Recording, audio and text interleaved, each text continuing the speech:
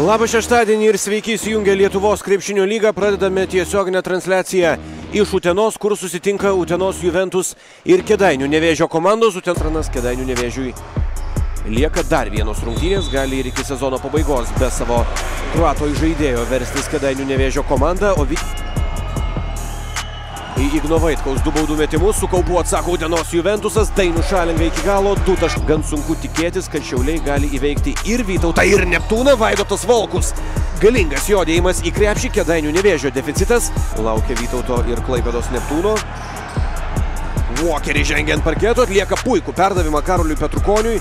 Gynėjai prieš Bičkauskį nusprendžia Kedainių nevėžio, krep, Kedainių nevėžio krepšininkai paspausti savo varžovus.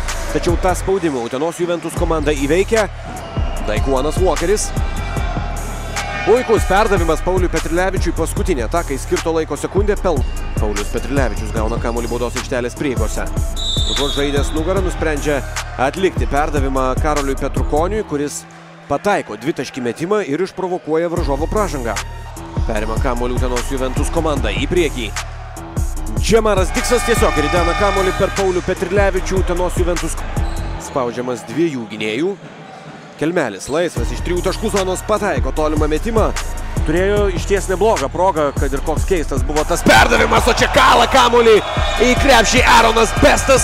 Nebejotinai geriausias rungtynių epizodas kol kas 61-41.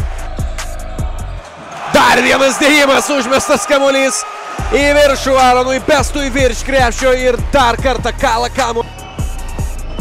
Džermeinas Lavas, Petrilevičiaus užtvara iki galo. Džermeinas Lavas, du taškai ir pražanga. Čiapukaitis. Prieš Volkų du taškai ir pražanga. Tuo pačiu atsako Arminas Kelmelis, Kelmelis pusiau krašte prieš Gytis Rutavičių. Iš trijų taškų zonos Arminas Kelmelis išnaudoti nepavyksta. Vytautas Šulskis. Du, du metimus iš keturių. Vytautas Šulskis. Vaidas Čiapukaitis, du jo taškai, geras Vytauto Šulskio perdavim. Teskite dieną su Lietuvos krepšinio lyga, o aš susitikimą tarp Utenos Juventus ir Kedainių nevėžių jums padėjęs stebėti Ignas Grinevičius. Atsisveikinu jau iki kitų susitikimų.